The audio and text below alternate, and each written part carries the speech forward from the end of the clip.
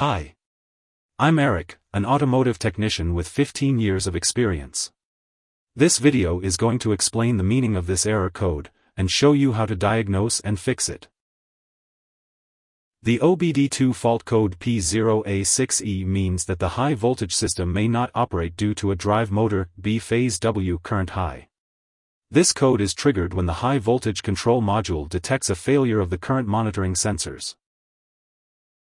When you encounter this OBD error, the vehicle typically exhibits the following symptoms, high voltage system may not operate. Now we talk about possible causes, and how to diagnose and fix. Inverter slash converter assembly failure. To diagnose this issue, use a multimeter to measure the current flowing through the high voltage cables. Check the inverter slash converter assembly for any visible damage or loose connections.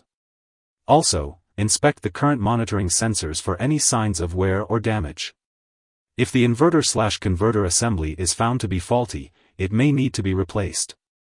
Ensure all connections are secure and free of corrosion. If the current monitoring sensors are damaged, they will need to be replaced as well.